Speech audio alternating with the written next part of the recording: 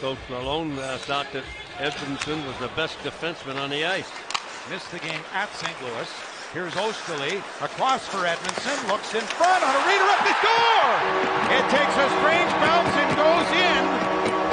And it's Luff at the periphery of the crease, and the Red Wings lead it one to nothing. Larkin makes the play. It ends up on the stick of Edmondson.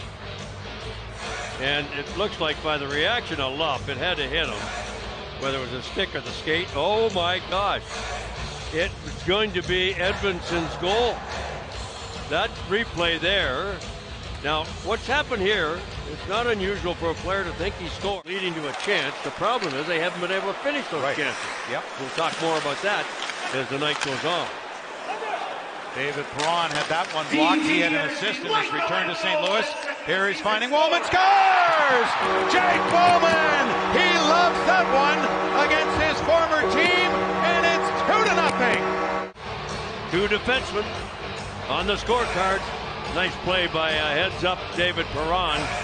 What a shot by Walman. Holy smoke.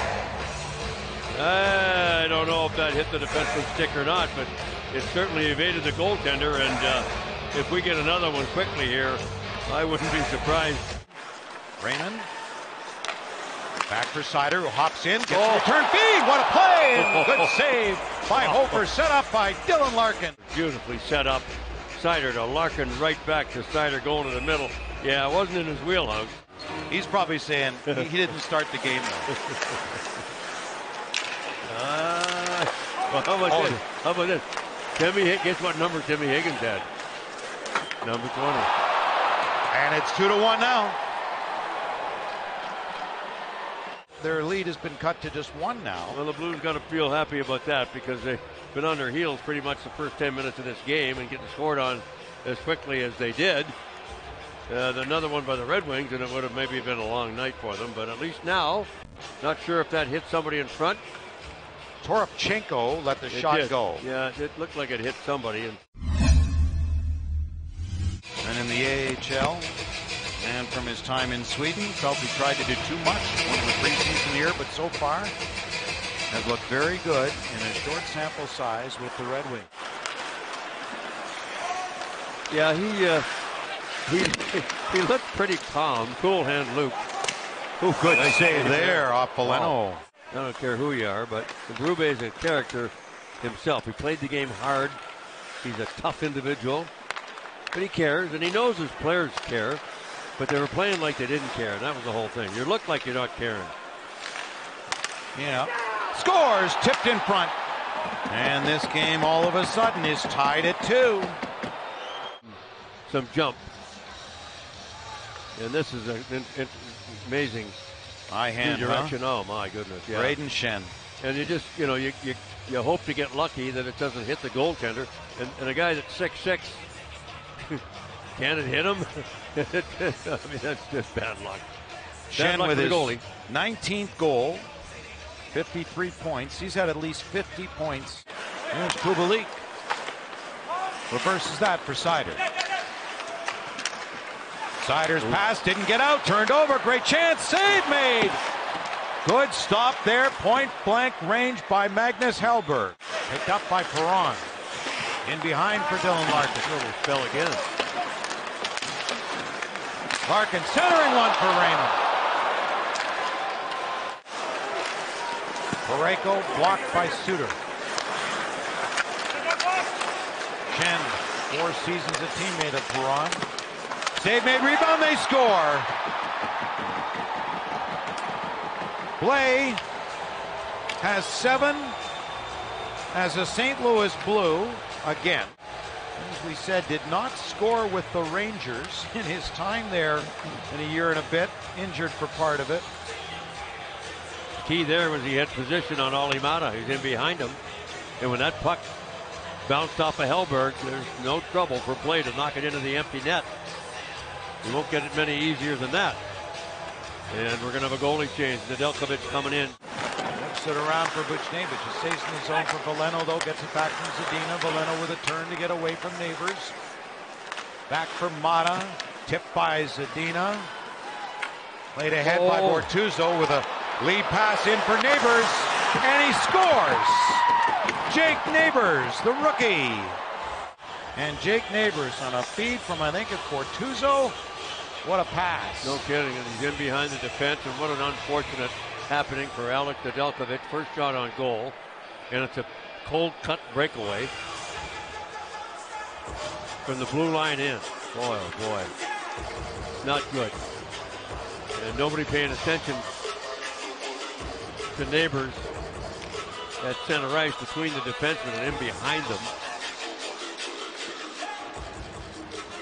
Third one they got in St. Louis Tuesday was in the shootout, not in regulation or overtime. Zadina, For this. Walman with luck, Oh, and a save Wow. made by Hofer. Parayko laid down, had nowhere to go, and then I think he wanted to go. And he was talking to the linesman to let him go. He he wanted to get it, Binnington. As Trev said, not dressed tonight. And Thomas Greiss, the former Red Wing. Bortuzzo on the wing. Vrana back in front. Big save by Nedeljkovic on Brandon Saad. Walman made it 2 0 Red Wings, just 128 into the game against his former team, but four goals by St. Louis since. What a play there. Pulling right in a goal. And a nice save by Hofer. Here's. Edmondson finding Veleno. Shooting and a stop there by Hofer with the blocker. And that puck's got to go in. Stopped at center, wrapped the rest of the way by the Blues, and they're first on it again. And a good play by Saad. Saad right and on goal. And a save by Nedeljkovic and a penalty coming here. Parayko. You saw it. There's Detroit not much two, question at Maatta. two-minute minor penalty for holding. Luff gets checked. Rosen for the Blues hit Suter. Came to the line, not out. Hag with a shot loose in front of the goal, and Suter couldn't get a stick on it. Berggren with it. Here's Osterley. Save made, rebound. Oh, and it doesn't go across the line. It stays out. Oh my. But staying with it was Raymond. On the wing for Kubalik. In for Copp. In for Raymond. Raymond back in front. Edmondson moved up the oh. shot. Edmondson got it again. Patiently waiting. Hofer swimming. Size on the St. Louis team, boy, being down here on the bench. Ned's gone again. Hofer couldn't play it. Oh, nearly banked in off him. Another shot. They score!